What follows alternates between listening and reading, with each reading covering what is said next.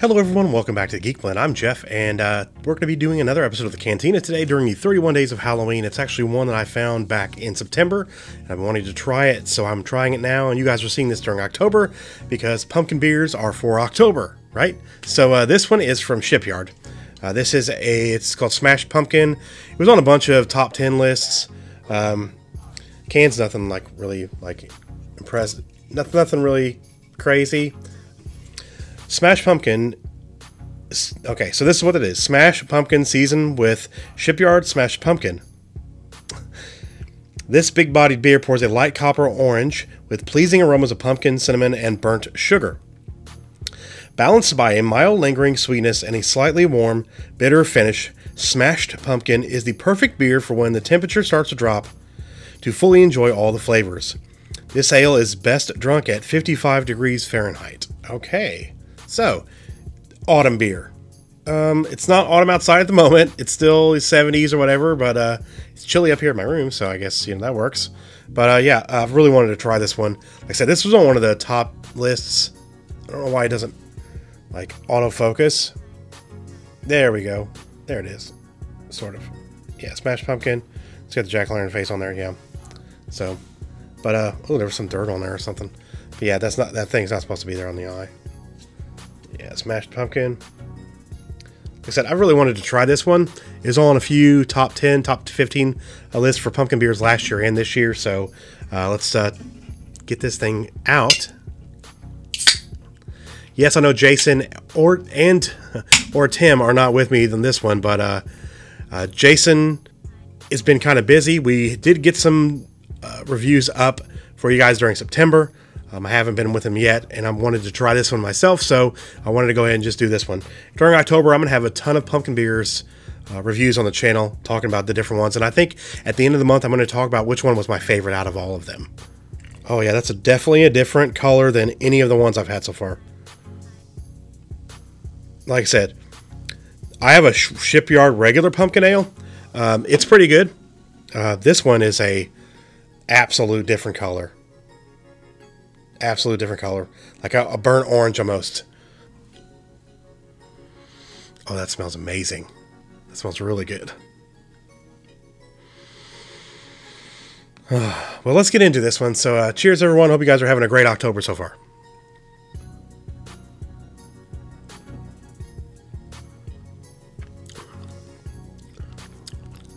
Hmm.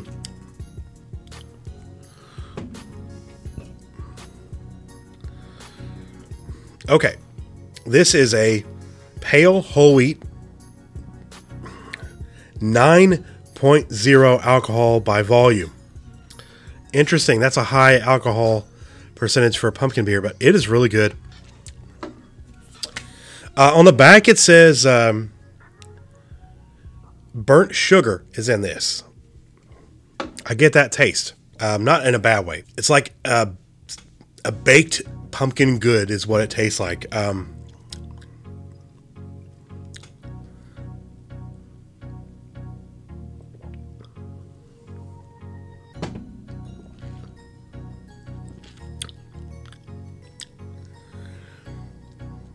you taste that pumpkin, the cinnamon for sure, and that burnt sugar taste.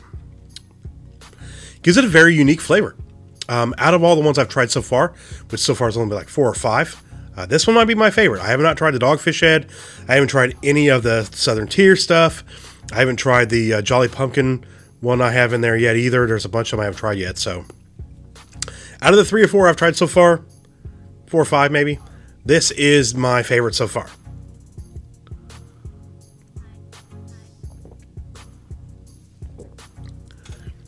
I'm guessing they call it Smash Pumpkin because after a few of these, you're going to be smashed because that 9.0 uh, alcohol by volume in this thing. Very good. It is a stronger one.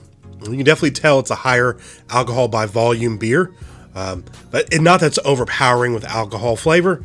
Not not like that even more Cocoa Jesus I had from uh, I remember who that was, but it was not as good because it was very very strong tasting. But yeah, it's it's it's actually it's is really good. I like this one a lot. If you guys were looking for something different and not the same old pumpkin beer, uh, definitely look for the Shipyard Smashed Pumpkin. Um, it's got a really good flavor of pumpkin, really good flavor of the the, num- the cinnamon and that burnt sugar flavor. It's just a very unique flavor that that creates. But it's definitely a stronger beer for sure.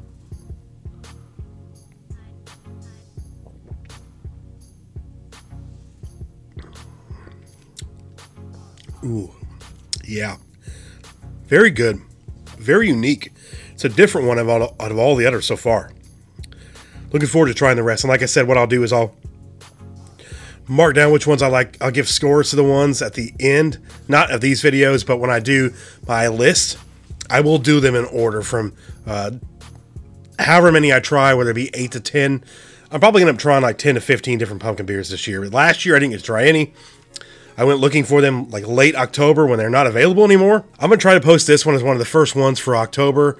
Um, I will let you guys know that if you want to try some pumpkin beers, go at the beginning, first week or two of October, because once it gets to the end of October, you won't be able to find them anymore. All the winter stuff will already be on the shelf. I know it's unfortunate, but the pumpkin beers started appearing like the first, second week of August, so they were already out. That's why I've got a lot of this stuff because uh, I've been looking for it. And I've got a list of some that are on the top 10, top 15, top 20 lists for like the last three years that I'm actually actively looking for. And I have found a couple of them, and this is one of them. This was on a top 10. This is on a top 10 and another top 15 list for this year and for last year. People really saying that it's a really good beer. It's a very unique pumpkin beer, but I really, really like this a lot. So thumbs up for Shipyard's Smashed Pumpkin. I will say this is not a chugging beer. It's a stronger beer. You want to enjoy this one. So I'm not going to chug it before I end because I want to sip it and enjoy it for the rest of the night because it's such a good flavor and you want to enjoy that flavor. So thank you guys for watching this episode of the Cantina. Again, another thumbs up for Shipyards Smashed Pumpkin. You guys should find it. I definitely recommend this one. Um, look for more pumpkin beer reviews during October uh, with me and with Tim and maybe even some other special guests. Who knows? But I appreciate you guys watching this video. Leave a like on the video. We really do appreciate that. If you're new to the channel and you like what you see and you want to see some more, hit that subscribe button for more and hit the bell for notifications so you can stay up to date on everything we're doing during October, which is going to be all kinds of goodies.